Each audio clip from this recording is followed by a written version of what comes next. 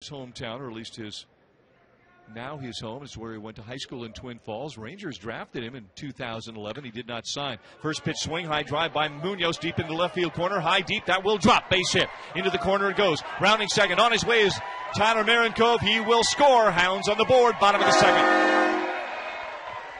Boy, Yairo Munoz just turned on that pitch and drove it into the left field corner.